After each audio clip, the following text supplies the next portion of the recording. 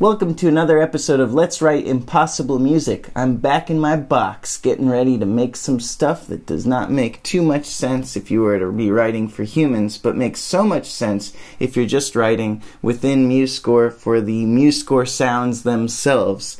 So, what I've got so far from last time is a whole lot of stuff that's actually playable by people but is a little bit on the difficult side. I've got rhythms that are pretty playable.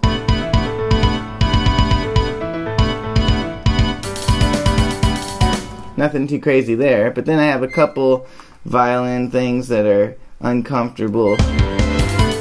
Just kind of mushy and fast and I don't know. It's going to be a bunch of garbage probably if even really good players, it's probably just not that well written right here if it's being played by anything less than a perfectly quantized robot. And we have another couple hard spots here, like this line. I know at least a couple people who could play that. Like, Thank You Scientist could play that. But uh, not me. I'm going to just start some new ideas as 30 second notes. You know, just chopping away. Alright, now I'm going to try a little strategy here. I'm going to take this line that's very strange, very weird here, and I'm going to just cut out random notes from it. Turn them into rests.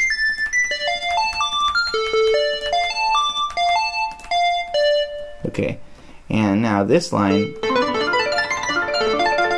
is accenting just a couple spots within this broader melody. I'm going to bring that down and have it played real low in the cello. I'm going to add a bass. Cool. And now I'm going to make that the kick drum rhythm. Or, you know, or that. And now I'm going to give it a backbeat, see if we can get this thing to hold together.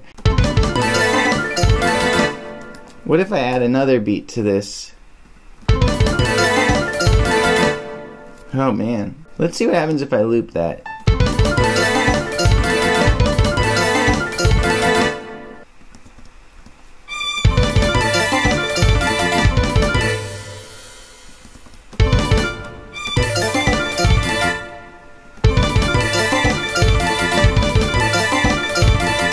If this is the first thing you're watching in the morning, I'm sorry. What if I change the drums here?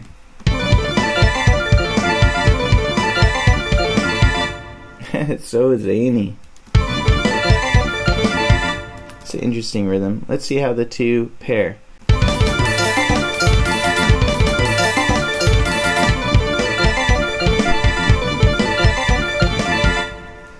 Okay.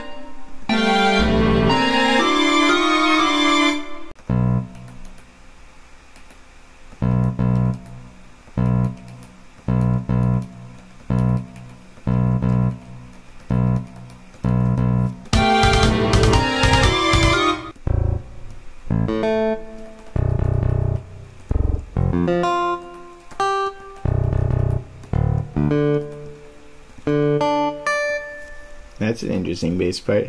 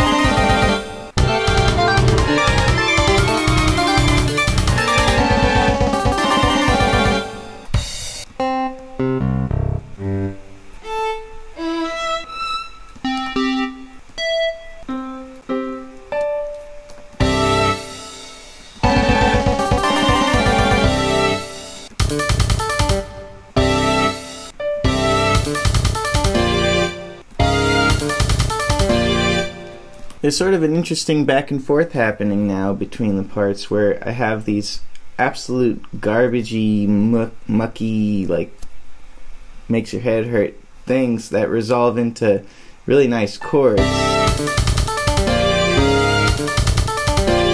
I feel like I'm onto something here with these these two bars. I've made a bunch of stuff that I thought I had really no idea if it would be good or not at all. I have no kind of intuition musically for writing this way uh, for the most part.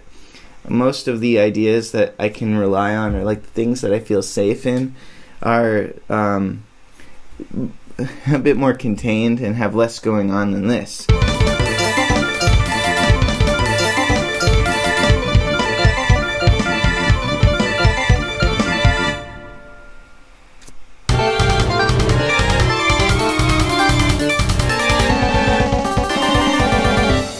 And just as a visceral like leave me alone or uh, drilling this into your head feeling you know that stuff works. It's a bit of an attack on the listener and i can get into that. I know a lot of people like that. This part i feel like i could enjoy any time of day. Just i like it. That's all there is to it. Now that i've gotten one new section that i actually am into let's attach it to what we got from last time. And see what happens. So I'm going to put in some space here. And I'm going to go grab the part that I particularly enjoyed, which was this. And I'm going to stick it in, see what we get. I think this is one of my favorite parts of writing music is putting two things next to each other and seeing what the result is.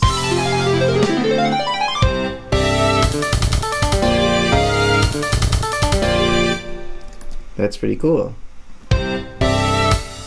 I could probably I could probably loop that. I'm a big loopy boy because I live in 2019. All right, let's see.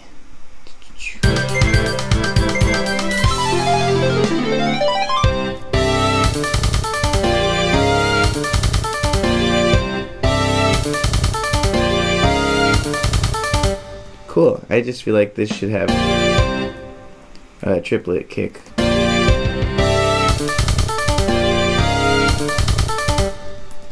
Well, that's fun. I'm really happy with that.